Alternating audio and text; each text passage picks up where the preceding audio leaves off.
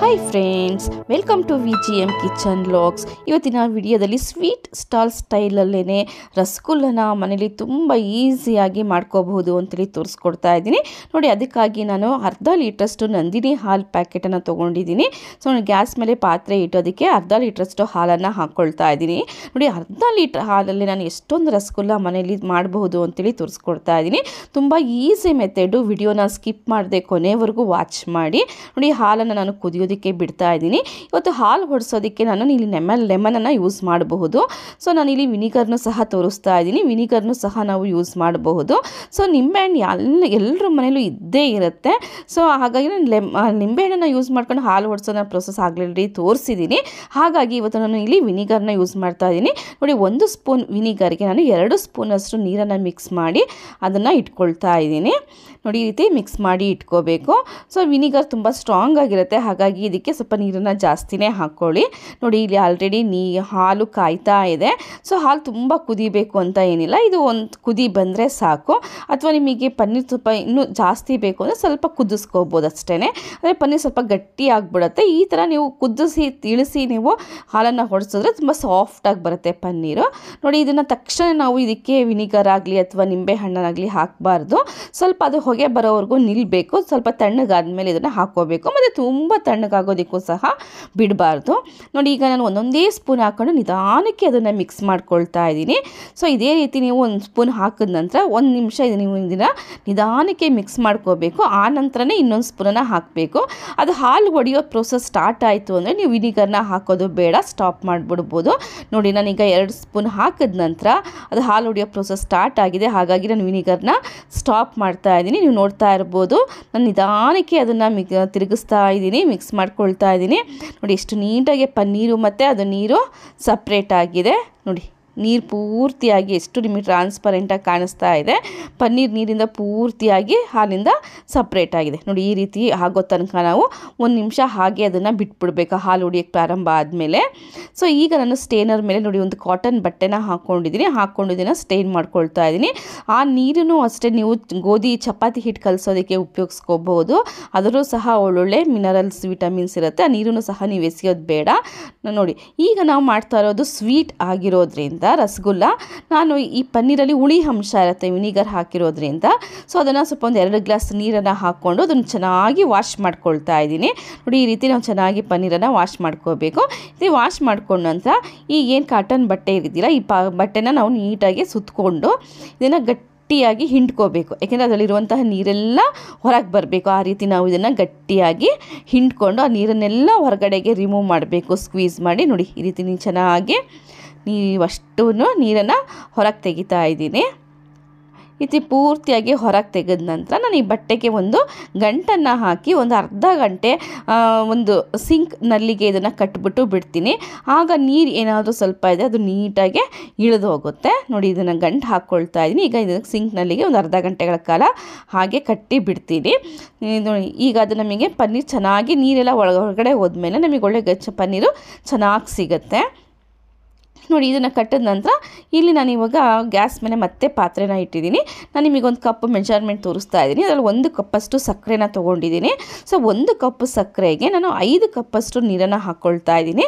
ಯಾಕೆಂದರೆ ಇಲ್ಲಿ ನಮಗೆ ಫಸ್ಟು ಸಕ್ಕರೆ ಪಾಕ ಆಗೋದು ಬೇಡ. ಕಡಿಮೆ ನೀರನ್ನು ಹಾಕಿದ್ರೆ ಪಾಕ ಆಗಿಬಿಡುತ್ತೆ. ಸೊ ರಸಗುಲ್ಲನ ಅದರಲ್ಲಿ ಕುದಿಸುವಾಗ ಏನಾಗುತ್ತೆ? ಪಾಕ ಜೊತೆ ಅದು ರಸಗುಲ್ಲ ಗಟ್ಟಿ ಆಗಿಬಿಡುತ್ತೆ. ಸಾಫ್ಟಾಗಿ ಬರೋದಿಲ್ಲ.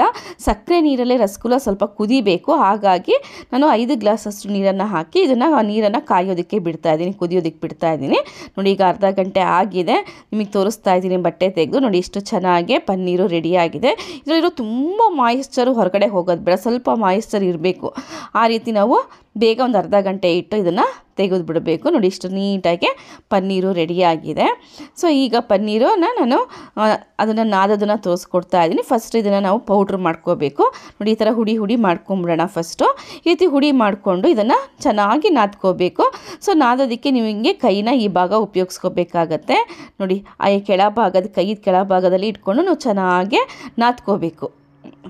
ಪನ್ನೀರನ್ನು ಎಷ್ಟು ಚೆನ್ನಾಗಿ ನಾದ್ಕೋಬೇಕು ಅಂತಂದರೆ ಅದು ಹಿಟ್ಟು, ನೀವು ಚಪಾತಿ ಹಿಟ್ಟು ಕಲಿಸ್ತಿರಲ್ಲ ಆ ರೀತಿ ನೀವು ನಾದ್ಕೋಬೇಕಾಗತ್ತೆ. ನೋಡಿ, ನಾನು ನಾದ್ತಾ ಇದ್ದರೆ ಅದು ತಟ್ಟೆಯಿಂದ ಮೇಲೆ ಬರ್ತಾ ಇದೆ. ನೋಡಿ, ಈ ರೀತಿ ಮೇಲೆ ಬರಬೇಕು. ನೀವು ನಾದ್ಕೋತಾ ಇದ್ದರೆ ಅದು ತಟ್ಟೆನ ಬಿಟ್ಟು ಮೇಲೆ ಬರಬೇಕು. ಅಲ್ಲಿವರೆಗೂ ನೀವು ಚೆನ್ನಾಗಿ ಪನ್ನೀರನ್ನು ನಾದ್ಕೋಬೇಕು. ಬೈಂಡಿಗೆಗೆ ಅಂತ ನಾನು ನೋಡಿ ಒಂದು ಅರ್ಧ ಸ್ಪೂನಷ್ಟು ಕಾರ್ನು ಫ್ಲೋರನ್ನು ಹಾಕ್ಕೊಂಡಿದ್ದೀನಿ. ಇದು ಆಪ್ಷನಲ್ಲು. ಬೇಡ ಅಂದರೆ ನೀವು ಸ್ಕಿಪ್ ಮಾಡ್ಕೋಬೇಕು, ಮಾಡ್ಕೋಬಹುದು, ಹಾಕಲೇಬೇಕು ಅಂತ ಏನಿಲ್ಲ. ಸೊ, ಅದೊಂದು ಬೈಂಡಿಂಗಿಗೆ ಅಂತ ಹಾಕ್ತಿರೋದು ಕಾಲು ಸ್ಪೂನು ಅಥವಾ ಅರ್ಧ ಸ್ಪೂನ್ ಅಷ್ಟೇ ಕಾರ್ನು ಫ್ಲೋರ್ ಹಾಕಿದ್ರೆ ಸಾಕು. ನೋಡಿ, ಇದು ಮತ್ತೆ ನಾನು ನಾದ್ಕೊಂಡಿದ್ದೀನಿ. ನಾದ್ಕೊಂಡ್ಮೇಲೆ ಇದು ಪೂರ್ತಿಯಾಗಿ ಹಿಟ್ಟಿನ ಥರ ಆಗಿದೆ. ನೋಡಿ, ಇಷ್ಟು ನೀಟಾಗಿ ಬಾಲ್ ಥರ ಆಗಿದೆ. ನಿಮಗೆ ತೋರಿಸ್ತಾ ಇದ್ದೀನಿ. ನೋಡಿ, ಇಷ್ಟು ನೈಸಾಗಿ ಹಿಟ್ಟು ಥರ ಆಗೋಗಿದೆ ನೀವು ಚಪಾತಿ ಹಿಟ್ಟೆಲ್ಲ ನಾದ್ತಿರಲ್ಲ, ಆ ರೀತಿ ಹಿಟ್ಟು ಥರ ನೈಸಾಗಿ ಆಗೋಗ್ಬಿಟ್ಟಿದೆ. ಈಗ ನಾವು ಇದನ್ನು ರಸಗುಲ್ಲ ಉಂಡೆಗಳನ್ನಾಗಿ ಮಾಡ್ಕೋಬೋದು. ನಿಮ್ಗೆ ಯಾವ ಸೈಜಿಗೆ ಬೇಕಾದರೂ ನೀವು ಉಂಡೆ ಮಾಡ್ಕೋಬೋದು. ಕೆಲವರು ತುಂಬ ಚಿಕ್ಕ ಚಿಕ್ಕ ರಸಗುಲ್ಲ ಮಾಡ್ತಾರೆ, ಕೆಲವರು ಮೀಡಿಯಮ್ ಸೈಜಿಂದ ಮಾಡ್ಬೋದು ಅಥವಾ ಕೆಲವರು ದೊಡ್ಡ ಸೈಜಿಂದ ಮಾಡ್ಬೋದು. ಸೊ ನೋಡಿ ನಾನು ಇಲ್ಲಿ ಮೀಡಿಯಮ್ ಸೈಜ್ ರಸಗುಲ್ಲನ ಮಾಡ್ತಾ ಇದ್ದೀನಿ. ಸೊ ಈ ರೀತಿ ನೀವು ನೋಡಿ ಕೈಯಲ್ಲಿ ನಾದ್ತಾ ಇದ್ದರೆ ನೋಡಿ ನನಗೆ ಕೈಗೆ ಎಣ್ಣೆ ಹಾಕ್ಕೊಂಡಿಲ್ಲ ಏನೂ ಇಲ್ಲ. ಎಷ್ಟು ನೈಸಾಗಿ ಬರ್ತಾ ಇದೆ. ಮೇಲ್ಗಡೆ ಕವರಿಂಗ್ ನೋಡ್ತಾ ಇರ್ಬೋದು ನೀವು. ಈ ಥರ ಬಾಲ್ ಥರ ಮಾಡಿದ್ರೆ ಈ ಥರ ಬರಬೇಕು. ಆ ಥರ ನೀವು ನಾದ್ಕೋಬೇಕು. ನೀವು ಚೆನ್ನಾಗಿ ನಾದ್ಕೊಂಡಿದ್ದೆ ಆದರೆ ಈ ಥರ ಖಂಡಿತ ಅದು ಬರುತ್ತೆ. ಈಗ ನನಗೆ ಸಕ್ಕರೆ ನೀರಿಗೆ ಒಂದು ಕಾಲು ಸ್ಪೂನಷ್ಟು ಏಲಕ್ಕಿ ಪೌಡ್ರನ್ನ ಹಾಕ್ಕೊಳ್ತಾ ಇದ್ದೀನಿ. ಇದು ಟೋಟಲಿ ಆಪ್ಷನಲ್ಲ ಹಾಕ್ಕೊಳ್ಳೇಬೇಕು ಅಂತ ಏನಿಲ್ಲ. ನಾನು ಫ್ಲೇವರ್ ಚೆನ್ನಾಗಿರಲಿ ಅಂತ ಹೇಳ್ಬಿಟ್ಟು ಈ ಥರ ಹಾಕ್ಕೊಳ್ತಾ ಇದ್ದೀನಿ ಅಷ್ಟೇ ನೋಡಿ, ಅರ್ಧ ಲೀಟ್ರ್ ಹಾಲಿಗೆ ಸುಮಾರು ಹತ್ತರಿಂದ ಹನ್ನೊಂದು ರಸಗುಲ್ಲ, ನಂಗೆ ಮೀಡಿಯಮ್ ಸೈಜ್ ರಸಗುಲ್ಲ ಆಗಿದೆ. ಇನ್ನು ಚಿಕ್ಕದು ಮಾಡ್ಕೊಂಡಿದ್ರೆ ನಮಗೆ ಜಾಸ್ತಿ ಆಗ್ತಾ ಇತ್ತು. ನೋಡಿ, ನಾನೀಗ ಸಕ್ಕರೆ ನೀರಿಗೆ ಹಾಕ್ತಾ ಇದ್ದೀನಿ ಆ ರಸಗುಲ್ಲ ಏನಾಗ್ತಾ ಇದೆ, ನೀರಿಗೆ ಹಾಕಿದ ತಕ್ಷಣ ಮೇಲ್ಭಾಗಕ್ಕೆ ತೇಲಿ ಬರ್ತಾ ಇದೆ. ಈ ಥರ ಬರಬೇಕು. ಈ ಥರ ಬಂದರೆ ನಿಮಗೆ ಪರ್ಫೆಕ್ಟಾಗಿ ರಸಗುಲ್ಲ ಏನು ಸ್ವೀಟ್ ಅಂಗಡಿಗಳಲ್ಲಿ ಸಿಗುತ್ತೆ, ಅದೇ ಥರನೇ ರಸಗುಲ್ಲ ಆಗುತ್ತೆ. ನೋಡಿ, ಇದನ್ನು ಪ್ಲೇಟನ್ನು ಕ್ಲೋಸ್ ಮಾಡಿ ಒಂದು ಐದು ನಿಮಿಷ ಇದನ್ನು ಹೀಗೆ ಕುದಿಯೋದಕ್ಕೆ ಬಿಡ್ತಾ ಇದ್ದೀನಿ. ಸೊ ಐದು ನಿಮಿಷ ಆದಮೇಲೆ ನೋಡ್ತಾ ಇರ್ಬೋದು ನೀವು. ನೋಡಿ, ನಾನು ಏನು ಹಾಕಿದ್ದೆ ರಸಗುಲ್ಲ, ಅದಕ್ಕಿಂತ ಸೈಜ್ ಏನಾಗಿದೆ ಡಬಲ್ ಆಗಿದೆ ನೋಡಿ. ಎಷ್ಟು ಚೆನ್ನಾಗಿ ಕಾಣಿಸ್ತಾ ಇದೆ. ನಾನು ಏನು ಹಾಕಿದ್ದೆ, ಅದಕ್ಕಿಂತ ಸೈಜು ಡಬಲ್ ಆಗಿದೆ. ಅಂದರೆ ಇಲ್ಲಿಗೆ ರಸಗುಲ್ಲ ಪರ್ಫೆಕ್ಟಾಗಿ ಆಗಿದೆ ಅಂಥೇಳಿ ಸೊ ನೋಡಿ, ಇನ್ನೂ ಒಂದು ಎರಡು ನಿಮಿಷ ನಾನು ಇದನ್ನು ಹಾಗೆ ಕುದಿಯೋದಕ್ಕೆ ಬಿಟ್ಟಿದ್ದೆ ನೋಡಿ, ಈಗ ಚೆನ್ನಾಗಿದು ಕುದ್ದಿದೆ. ನೀರಿನ, ನೀರೆಲ್ಲ ಅದು ಸಕ್ಕರೆ ಏನಿರುತ್ತೆ ಅದೆಲ್ಲ ರಸಗುಲ್ಲಕ್ಕೆ ಅಬ್ಸಾರ್ಬ್ ಆಗಿರುತ್ತೆ. ನೋಡಿ, ಇಷ್ಟು ಕುದಿಸಿದ್ರೆ ಸಾಕು. ಇದನ್ನು ನಾನು ತಣ್ಣಗಾಗೋದಕ್ಕೆ ಬಿಡ್ತೀನಿ ಸ್ವಲ್ಪ. ಅದು ತಣ್ಣಗಾದ ನಂತರ ಒಂದು ಹತ್ತು ಒಂದು ಅರ್ಧ ಕಾಲು ಗಂಟೆ ನೀವು ರೆಫ್ರಿಜರೇಟರಲ್ಲಿ ಇಡ್ಬೋದು ನಾನಿಲ್ಲಿ ಬೌಲ್ ಚಿಕ್ಕದಿದೆ ಅಂತ ಮೂರು ರಸಗುಲ್ಲ ಮಾತ್ರ ನಿಮಗೆ ತೋರಿಸೋದಕ್ಕೆ ಇಲ್ಲಿ ಬೌಲಲ್ಲಿ ಹಾಕ್ಕೊಂಡಿದ್ದೀನಿ. ನೋಡಿ ಸರ್ವಿಂಗ್ ಬೌಲ್ಗೆ ರಸಗುಲ್ಲನ ಹಾಕ್ಕೊಂಡು ಅದಕ್ಕೆ ಅಲಂಕಾರಕ್ಕಿಂತ ಕೇಸರಿನ ಇಟ್ಟಿದ್ದೀನಿ. ಸೊ ನಾನು ನಿಮಗೆ ಒಂದು ಸ್ಕ್ವೀಸ್ ಮಾಡಿ ತೋರಿಸ್ತೀನಿ ನೋಡಿ. ರಸಗುಲ್ಲನ ನೋಡಿ, ಈ ಥರ ಸ್ಕ್ವೀಸ್ ಮಾಡಿದ್ರೆ ಹಿಂಡಿದ್ರೆ ಸಕ್ಕರೆ ನೀರೆಲ್ಲ ಕೆಳಗಡೆ ಬರುತ್ತೆ. ಮತ್ತೆ ನಾವು ಅದರೊಳಗೆ ಹಾಕ್ಕೊಂಡ್ರೆ ಮತ್ತೆ ನೋಡಿ, ಸಕ್ಕರೆ ನೀರನ್ನೆಲ್ಲ ಅದು ಅಬ್ಸರ್ವ್ ಮಾಡ್ಕೊಳುತ್ತೆ ಈ ರೀತಿ ರಸಗುಲ್ಲ ಅಬ್ಸರ್ವ್ ಮಾಡಿಕೊಂಡ್ರೆ ರಸಗುಲ್ಲ ನಿಮಗೆ ಸ್ವೀಟ್ ಸ್ಟಾಲಲ್ಲಿ ಏನು ಸಿಗುತ್ತೆ? ಅದೇ ಥರನೇ ಪರ್ಫೆಕ್ಟಾಗಿ ಆಗಿದೆ ಅಂತ ಹೇಳಿ ಅರ್ಥ. ಫಸ್ಟ್ ಟೈಮ್ ಯಾರೆಲ್ಲ ನಮ್ಮ ವಿಡಿಯೋ ವಾಚ್ ಮಾಡ್ತಾ ಇದ್ದೀರಾ, ಈ ವಿಡಿಯೋನ ಲೈಕ್ ಮಾಡಿ, ಹಾಗೆ ನಮ್ಮ ಚಾನಲ್ನ ಸಬ್ಸ್ಕ್ರೈಬ್ ಮಾಡ್ಕೊಳ್ಳಿ, ಹಾಗೆ ಈ ವಿಡಿಯೋನ ಹೆಚ್ಚು ಹೆಚ್ಚು ಶೇರ್ ಮಾಡಿ. ಈ ರಸಗುಲ್ಲನ ಖಂಡಿತ ನೀವು ಮನೇಲಿ ಟ್ರೈ ಮಾಡಿ, ಹೇಗೆ ಬಂತು ಅಂತೇಳಿ ನಮಗೆ ಕಮೆಂಟ್ ಮಾಡಿ, ತಿಳಿಸಿ.